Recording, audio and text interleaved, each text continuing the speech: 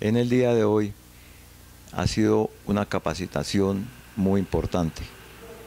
Muy importante en el sentido de que toda la comunidad educativa debe cerciorarse, debe empaparse y debe mirar cuáles son las políticas gubernamentales, cómo se está apoyando la, educación, cómo se está apoyando la investigación.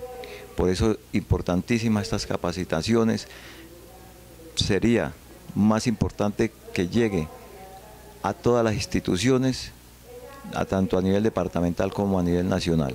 Sería importantísimo que llegue a todos los docentes, a todos los docentes estos proyectos, que ellos se enteren, se empapen de qué se tratan esos proyectos y generen ellos esa expectativa, ese querer meterse en la investigación para que con sus estudiantes puedan explorar el mundo en todos los campos.